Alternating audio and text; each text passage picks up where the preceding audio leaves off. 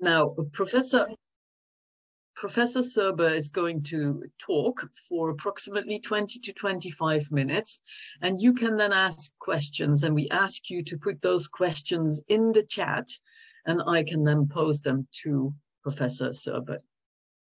Okay. Professor Sørbø was a visiting fellow at Lucy Cavendish for six months in 2018, and she has been an associate to Lucy Cavendish since. Norwegian by birth, she is taught English literature at Volda University College in Norway for over 30 years. She holds a PhD from the University of Oslo and has published two monographs about Jane Austen. Professor Sørbø has been a partner in several EU-funded projects and networks about women writers of the past. This year, she has published her own translation of Austen's Northanger Abbey into Norwegian. And she's going to talk a bit about translating um, Jane Austen's work in Norwegian now. Over to you, Professor Austen. Um, Professor Sørbø, I mean.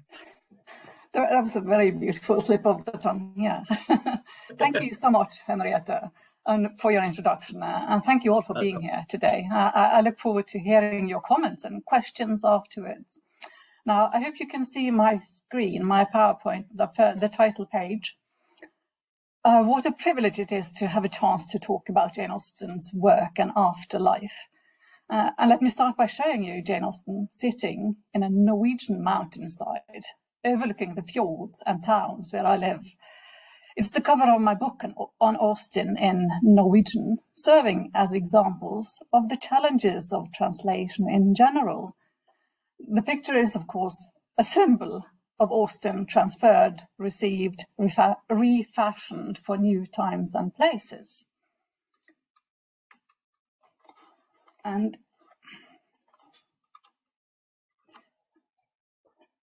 I've been interested in Austen's novels for a very long time, and here are the covers of my two books about her reception, as well as three books I have been very happy to contribute chapters to, and not least that excellent series, The Reception of British and Irish Authors in Europe. Now, my long-standing interest in Austen was renewed by the many television and film adaptations since the 1990s they have reminded me that the screen version can never reproduce a book. It will always be one of an endless possibility of interpretations of that book. Furthermore, film is a visual work of art using its own means and techniques to tell a story similar to the novel, but never the same. I always find it most rewarding to compare books with their screen interpretations to try to understand why some parts are, of a novel are omitted, others included, why indeed some elements are added in films. And my book, Irony and, Id uh, Irony and Idyll, which is an attempted Austenesque title, and you may tell, uh, discusses seven film versions of two novels. Now, my other main field of research has been into translation, as reception of a literary work. And I inevitably discovered that again, similarly to film, this is not a straightforward process, and sometimes translations deviate significantly from original works. They are always interpretations, with a style that will bear witness to the time, place, and circumstance of the translation. Translators and filmmakers are, of course, readers of the text they work on. And as readers, we all come to the text with our own preconceptions, perspectives, and contexts. And from a hermeneutic perspective, that is a, a, the perspective of interpretation, Jane Austen's novels evidently invite a rich variety of responses from readers, translators, and filmmakers. It is an intriguing exercise to study and compare them, although we only have time for a very few examples here today. This will be a quick taste rather than a full meal. And many more entertaining specimens, I hope, are to be found in my books and, and articles. And here, very, very quickly, uh, my three most recent articles and chapters in this field. challenges of translating Austen, Austen and Shakespeare translated, both authors compared, and interpretations of Jane Austen's irony on screen and in translations. Now, a very quick glance at the woman herself and her titles, just to remind ourselves of her lifespan and her work, as I'm sure that it's not necessary for most of you, but still. Jane Austen's books in Norwegian translation, um, in addition to studying other people's translations of Jane Austen, I have also tried my hand at translating her myself. Uh, uh, mine is at the bottom of this, uh, or bottom right-hand corner of this table of translations from 1871 until now. Um, uh, the, mine is the 13th Austen title translated into Norwegian uh, out this year. And actually the first time Northanger Abbey has been translated into Norwegian. It appeared in this very beautiful series. I just have to show you that very quickly again um, because it's so beautiful. Like a series of classics uh, of by you know by different authors collected. So Northanger Abbey takes its place in that series. Um, and uh, when writing Jane Austen Speaks Norwegian that I showed you earlier, I attempted to calculate how many translations there have been globally which is an impossible task, but I, I, I concluded that there must have been more than 680. That's a very modest figure and much more research by many people needs to be done in different languages in different countries to, to be able to compare Austen's work in translation. And I'm very I'm curious to see what this burgeoning field of, of research uh, will turn up in the future. Now, what are the tools of Austen's irony first? We don't have much time to discuss them, but I just wanted to show them, or, or some of them anyway, a selection. Uh, because irony is often perceived to be an inherent quality of Austen's work and attitude. But is it translatable and is it relatable for modern audiences? That was my main question today. And in her novels, it is it, irony sometimes appears in narrative comments. Uh, and they are very striking when they appear and not always appreciated by translators and certainly not by most filmmakers, although there are a couple of interesting examples or exceptions that I'm, I will come back to. Um, but even more so, her irony rests in subtler narrative techniques like free, indi free indirect speech, leitmotifs, dramatic irony at the expense of characters. Perhaps, and perhaps the form of irony most frequently noticed and appreciated by readers and audiences is the use of ironic voices among the characters, not least Elizabeth Bennet and her father in Pride and Prejudice. And here I will have to limit myself to only, to, to only a few of these. What, what are the targets then of Jane Austen's irony. Um, from the from the early years of reception, uh, from the early 19th century, critics and scholars have commented on Austen's wit, or humor, or irony, uh, uh, and and each of her novels is infused with a narrative tone that is coolly ironical, I would say, always displaying her character's weaknesses and ridiculousness, even, even the best of them. Um, her novels provide a gallery of what her brother Henry, in his biographical notice, called, I quote, frailties, foibles, and follies. Uh, she, she presents clowns making fools of themselves, such as Mr. Collins in Pride and Prejudice. She satirizes snobs, such as Mrs. Elton and Emma, and here I'd like you to, to, uh, to consider, do her novels always revere parental and other authorities? Are they in awe of titled ladies' grand estates and trappings of wealth, or do they satirize them? Is female education seen as adequate are the lovers always celebrated, or are they sometimes mocked, or perhaps both at the same time? uh, these questions I will leave hanging, I think. Here, uh, here a reminder of the ensuing question, how are these ironical targets treated in films, in film reception? Um, so I will leave that one also hanging. I, I, think I think this slide will remind you of some examples. Now, back to translations and irony in translations. Uh, um, a few selected examples or illustrations of the dilemmas. and I'm starting with the, the idea that some concepts in, in any language will be seemingly untranslatable. You know, it's difficult to find an adequate translation in, in the target language.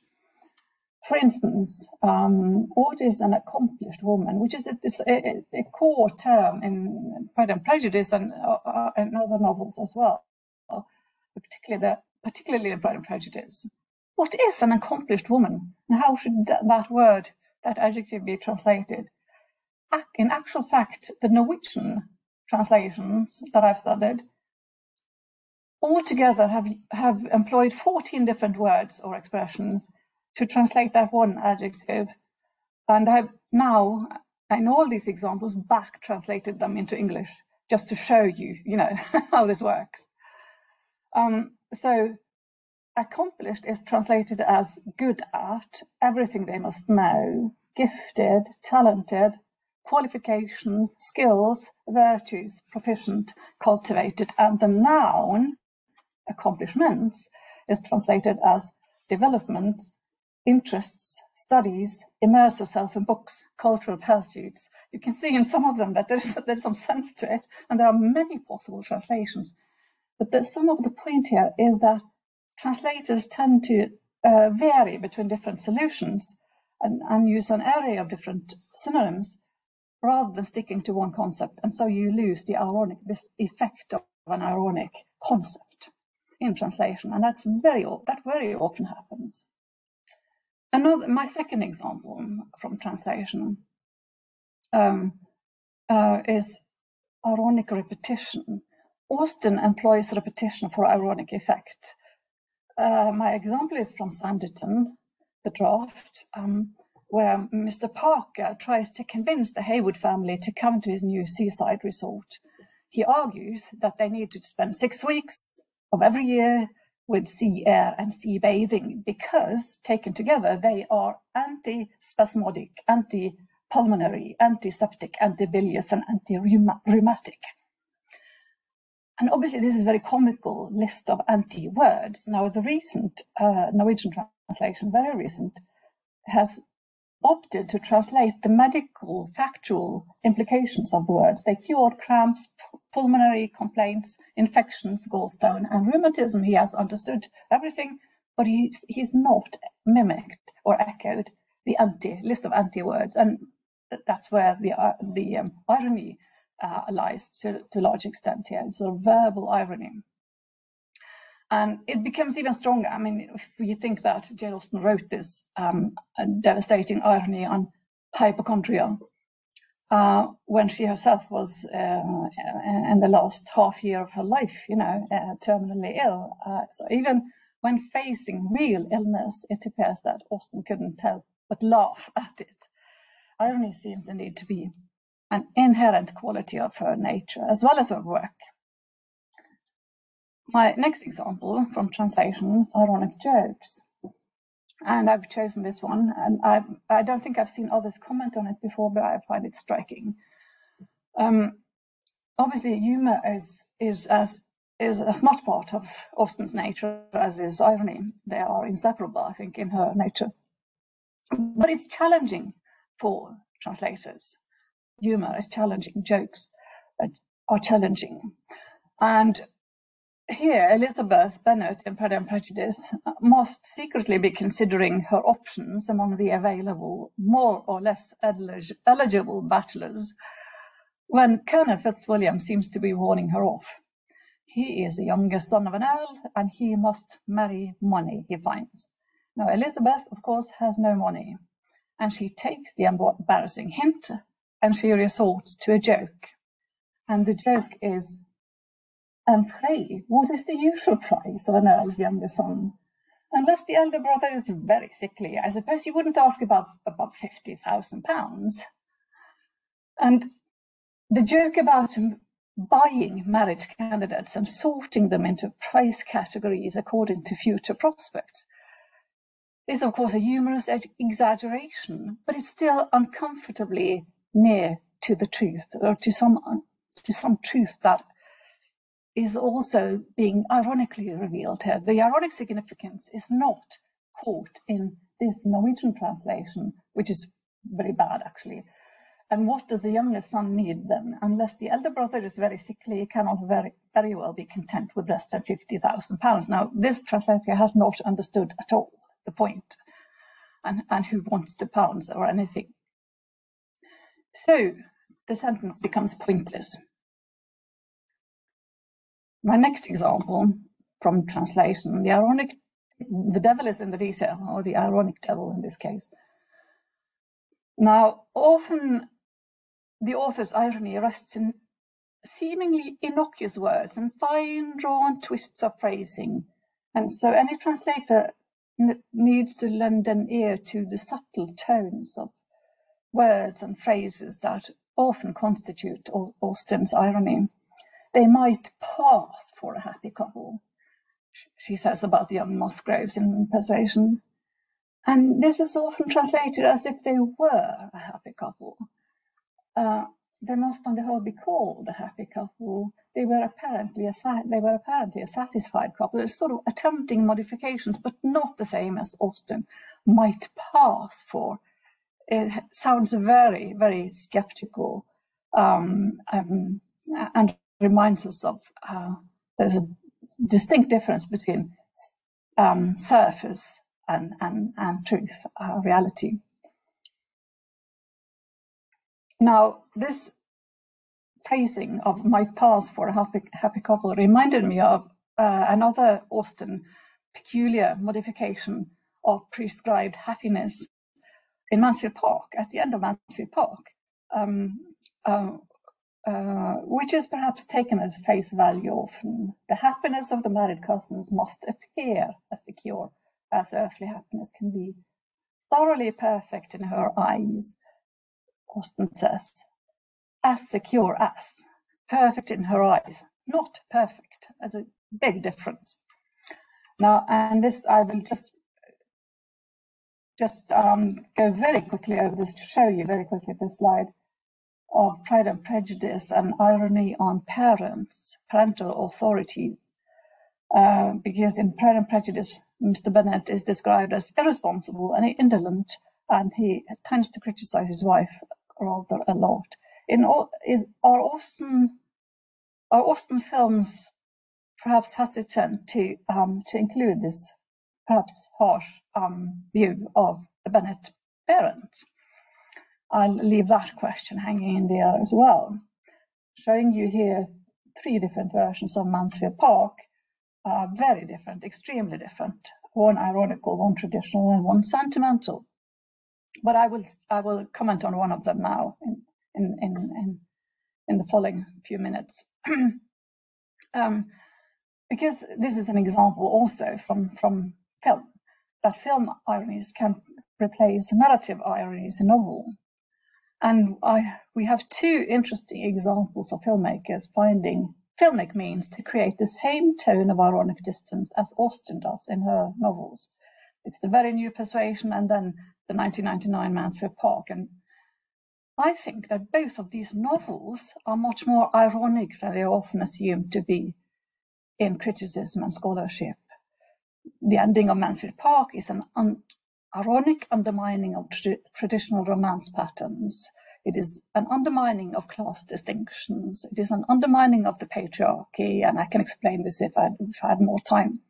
Persuasion is a novel that satirizes upper class morals and lifestyles through giving us a degenerate, almost the last specimen of the race, and whom we see literally replaced in his estate and his descendants um, by the middle and professional classes. So the nobility is mocked, and men of the navy are celebrated in persuasion, and the heroine Anne is closest to this authorial perspective. She could have been the future Lady Elliot, but she chooses a mere captain. So both these novels are written by an acutely class aware and class critical author, I would say. Now, and these two film directors, Carrie Cracknell and Patricia, Patricia Rozema, have taken these some of these ironical implications on board, particularly these class and uh, and fem, fem, feminist implications on board, and and uh, employed the technique of direct or intrusive commentary in the mouth of the protagonist. So she's talking to us, and both of these heroines are. They don't do that in the novel, but the films use this. They sort of, they sort of um, change some aspects of the novels to echo other aspects, such, such as irony, humor, satire, perhaps criticism. Perhaps it feels unusual, unusual for many viewers to have the heroine com communicating with us uh, directly. But it's an ancient technique. It it it it um, goes back to Greek drama, so it's been around for a long time. It's just been out of fashion in in periods of realism. I hope to see more directors in the future um, find experimental techniques to echo Jane Austen's uh, narrative irony. Uh, the, I will not read this, but you probably know this if you know Austen at all. This quote about her not being able to sit down and write a serious romance, you know, if her, if her life were threatened by it. And uh, indeed, she always writes comedy, comedy or comical fiction. Um, she rarely celebrates anything. She almost always ridicules or at, at least is laughing up her sleeve. And the oddest thing I see is when is when Austen is quoted for words of wisdom, often lines taken out of context and misapplied, like you know, the famous banknote of, of recent years, the quote, I declare, after all, there is no such enjoyment as reading, which in Austen is a satirical dismissal of hypocrisy, while on the banknote it becomes a celebration of reading, you know, turned, turned on its head. Um, so in these instances, Austen is made into a prophet, and it's a role that suits her as little as the romancer. Uh, she wants to be a court jester, she wants to point to the weaknesses we may not want to admit to. It annoys me greatly to see Jane Austen described as a naive defender of existing class structures or of idyllic life in English country houses. Here, the films have done her somewhat of a disservice, making us associate her stories with glitter and glamour and balls and gowns and cakes and curtains and all these are things we hardly see anything of in the books, and never without an ironic dismissal of sickening wealth and assumed su- superiority.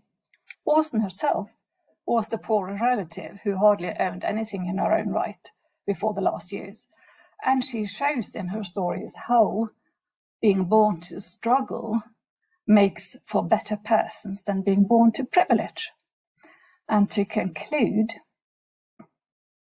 in studying translations as well as a number of screen adaptations, I have thus found that although Jane Austen's irony can be challenging to handle and sometimes lost or obscured or even unwanted in reception, there are still intriguing attempts to relate to her work by modern filmmakers and audiences, and ongoing efforts to translate her irony for modern readers Certainly her relevance has not dated, although always finding new expressions, I would say. Thank you very much for your attention. Thank you so much, Marie. That was a really interesting um, sort of whistle stop tour through different bits of irony in Jane Austen's work and the way in which it's been treated, or maybe not treated, as you would probably argue, but really interesting. Um, so we've got a couple of minutes for questions, and um, I've seen that at least one question has come in from Randy. Um, and so um, they say, can you describe translating the many satirical speeches of Henry Tilney in your own translation? And do you think your study of these issues aided your own translation process? I think that's an excellent question. So, yeah, yes, yes, yeah. No, that that was that was a pure pleasure to translate Henry Tilney's. Um, uh, he he's he's one of the ironical voices of Austen's uh, um, works, and uh, and he um, and he, um, I, yes, I, I, think it it it sort of made me more more aware, more awake, or more uh, I don't know, um, attempting to be um, to to, render Jane Austen's uh, text exactly as she uh, as I think she intended it or as she, she, she meant it at the time um, uh, because it is um, because I've seen so, so, so, many versions of you know of of of, of her text being twisted. Now, um, Henry Tilney is is um, is uh, an ironical voice, but even perhaps even more interesting. I don't know whether the whether the questioner is, is agrees, but uh, perhaps even more interesting interesting as for as for uh, commentaries in Northanger Abbey are obviously the author's own comments as well, which are striking in Northanger Abbey, and which are, you know, she has a long passage on um, on uh, on, the, on defending the novel as a genre because it was attacked by so many men, particularly at the time, and Henry Tilney is one of those, uh, one of the few men who who uh, admits to reading novels. Because okay. you. know they were they were sort of considered to be um, female reading matter you know uh, sentimental gothic obviously um, entertainment stories. They weren't you know the serious realistic novel hadn't appeared on the market and i think that jane austen is a foremother for that but but she um, she defends the novel and and partly in Henry Tilney's attitude to the novel, Henry Tilney as a reader, and partly in her own direct defense of the novel in plain words in, in, in the text of the novel. That was a very long answer and sort of a bit me meandering, I think, but That's absolutely all right. Okay. So we don't have um, much time for, and there's lots of questions actually. So I'm just going to pick one. Um, so there's a question here that says, um, are there any Norwegian authors who use a similar ironic voice? Uh, yes. Uh, yeah. Um, yes. The, I, I think you. I think you will find. I mean, uh, irony is, uh, I, supp I, suppose, irony is popular at all at all times and in all in all cultures. There's a, sort of a personal preference difference. You know, some authors prefer irony, satire, uh, the distance, the jokes, and other authors prefer the sentimental and the genuine and the the, the deep feelings and so on. And you have both kinds in no, among Norwegian authors as well. Um, and uh, and uh, I, don't know how how familiar um, this, the the the uh, asker is is uh, with Norwegian authorships, but uh, yeah, I, th I think what would be interesting, of course, is to see if that gets lost in translation as well when it's translated into other languages, or how that would work. But oh yeah, yeah, yeah. I think I think it's the same challenge. Translation is the same challenge. Whatever is whatever the target and source languages are. Uh, hmm. uh, I, that, that's my impression from my, you know, very limited, obviously, study. Um, but I, but I, I, I think that uh, I think that on the one hand, it's it is, uh, uh, or some people would say that translation is impossible because you know the languages are incompatible, and you know at least hundred percent you can't hundred percent uh, mm, have one language correspond to the to another. Mm, mm-hmm. I, I, w- I would say that even so, I mean, think that that's very true. But even so, even in spite of the difficulties and and the and the and the shortcuts and the sometimes um, you know you have you know you have to make some choices and so on. But even in spite of that, I think the fundamental correspondences between languages, it seems, uh, that that makes it that makes translation possible and even rewarding and even sensible uh, activity to do for, for, to transmit authorships and and I'm I'm glad to say that that is my experience because otherwise we would lose out on a lot. Even I mean even English, even native speakers of English would lose out on a lot of world literature if mm-hmm. if there were no translations. You know, so it's not only the small languages, the minor languages that need translations. It's also the major languages. You need translations from the smaller languages often. You know or between the major languages. Yeah. Absolutely. Yeah. Mm. Okay, I think we've run out of time. Um, there's been a lot of thank yous for your really interesting talk. Um, so I think um, thank you also to everyone who joined us to listen. And um, um, we'll be back. Um, Marie, thanks once again for a really inspiring talk. Everyone have a nice evening. Thank you.